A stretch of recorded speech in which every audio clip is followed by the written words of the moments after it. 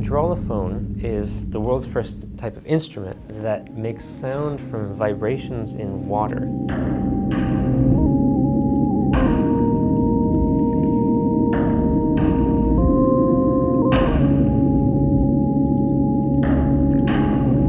You take your finger and you place it on one of the water jets uh, and you block that water jet.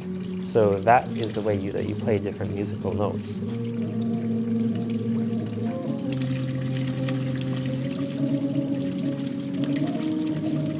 What that does is that forces the water back inside the instrument into the sounding mechanism, the sounding chamber, and, and then it resonates. So, so you can, you're just battling with that water, but in a very subtle way, with gently how your finger very subtly rocks around the turbulence of the water to change the sound in minute ways.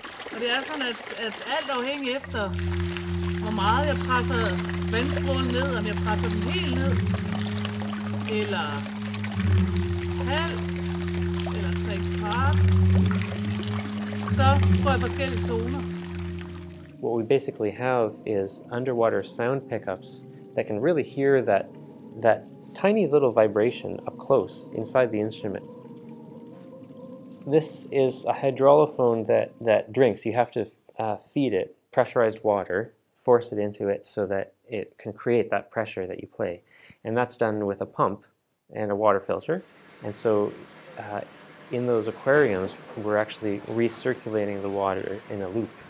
Um, so, so there's a pump underwater and then it forces it out and then you get the water back. And this is a very different type of hydraulophone that is visually different and it's played different with all the fingers working in harmony underwater in a very compact aquarium space. So you're, you're very tightly wound in there and it's a see-through instrument. It almost evokes an underwater sea creature kind of aesthetic. One interesting feature of this hydraulophone when you play it in a certain way, it makes a really raw, deep, rumbling bass sound.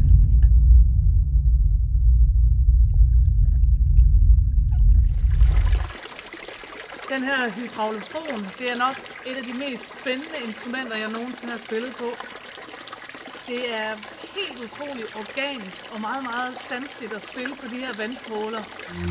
Og så kan man jo lege med vibrato og alle mulige andre små finesser, som jeg, som jeg stadigvæk øh, undersøger. Så jeg glæder mig til at få meget mere tid med det her instrument. Whenever you completely have a new instrument, Yeah, it, it, it's very experimental because you have to have the science and the music performance really working together. So it's a constant back and forth process. So there will be more hydraulophones that blossom out of this design in the future.